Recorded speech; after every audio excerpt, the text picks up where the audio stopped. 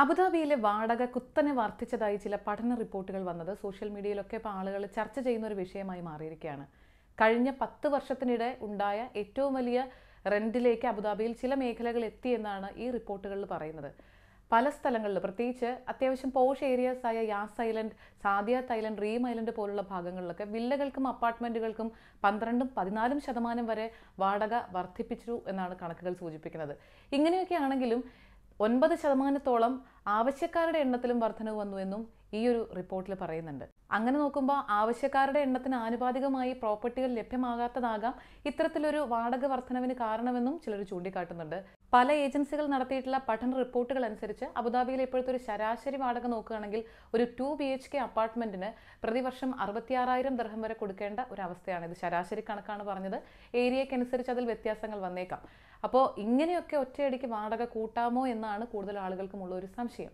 അപ്പോൾ അവരുടെ അറിവിലേക്കായി പറയുകയാണ് കഴിഞ്ഞ ഓഗസ്റ്റിൽ അബുദാബി റിയൽ എസ്റ്റേറ്റ് സെന്റർ പുറത്തുവിട്ട ഒരു ഇൻഡെക്സ് അനുസരിച്ച് നിശ്ചിത ഏരിയകളിൽ മുപ്പത് ശതമാനം വരെ റെന്റ് വർദ്ധിപ്പിക്കാമെന്നാണ് പറഞ്ഞിട്ടുള്ളത്.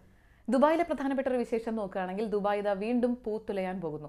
ലോകത്തിലെ തന്നെ ഏറ്റവും വലിയ നാച്ചുറൽ ഫ്ലവർ ഗാർഡൻ എന്നുള്ള ഖ്യാതി നേടിയ മിറാക്കിൾ ഗാർഡന്റെ കാര്യമാണ് പറയുന്നത്. സെപ്റ്റംബർ ഇരുപത്തി എട്ടാം തീയതി ശനിയാഴ്ച മുതൽ മിറാക്കിൾ ഗാർഡൻ വീണ്ടും പൊതുജനങ്ങൾക്കായി തുറന്നു കൊടുക്കുകയാണ്. പതിമൂന്നാമത് സീസണാണ് ഇപ്പോൾ ഈ രണ്ടായിരത്തി ഇരുപത്തിനാലിൽ ഓപ്പൺ ആവുന്നത്.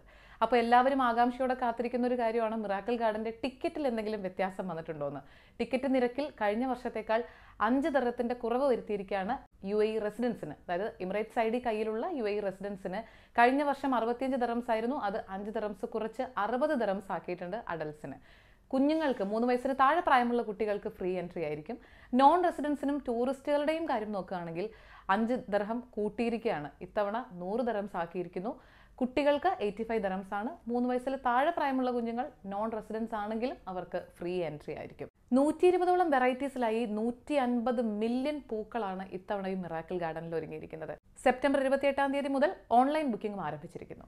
തണുപ്പുകാലം വരുന്നതുകൊണ്ട് തന്നെ ദുബായിയുടെ ജലഗതാഗത സർവീസുകളുടെ സമയത്തിലും സർവീസുകളിലും ചില മാറ്റങ്ങൾ വരുത്താനുള്ള ആലോചനയിലാണ് ദുബായ് ആർ എന്ന് പറയുമ്പോൾ അബ്ര ദുബായ് ഫെറി അതുപോലെ തന്നെയാണ് ദുബായ് വാട്ടർ ടാക്സി.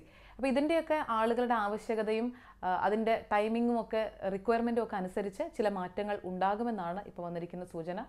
കൂടുതൽ വിദേശികളും ടൂറിസ്റ്റുകളും ഒക്കെ വരാൻ സാധ്യത ഉള്ളതുകൊണ്ട് തന്നെയാണ് ഇങ്ങനെ ചില മാറ്റങ്ങൾക്ക് മുതിരുന്നത്. അതുകൊണ്ട് അധികം വൈകാതെ പുതിയ സ്കെഡ്യൂളുകൾ അനൗൺസ് ചെയ്യുമെന്നും ദുബായ് ആർ ടി അറിയിച്ചിരിക്കുന്നു. തലശ്ശേരി കാർണിവൽ രണ്ടായിരത്തി ഇരുപത്തിനാലിന്റെ മൂന്നാം സീസൺ നവംബർ പത്താം തീയതി അബുദാബി ഹുദൈരിയ തായ്ലൻഡിൽ വെച്ച് നടത്താൻ തീരുമാനിച്ചിരിക്കുകയാണ്.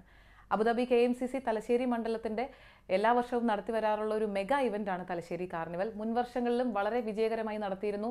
ഇത്തവണ കലാകായിക മത്സരങ്ങൾക്കൊപ്പം തന്നെ ഭക്ഷ്യമേളയും അങ്ങനെ ഒരുപാട് വിവിധ അട്രാക്ഷൻസ് ആണ് ഇത്തവണയും ഒരുക്കിയിരിക്കുന്നത്.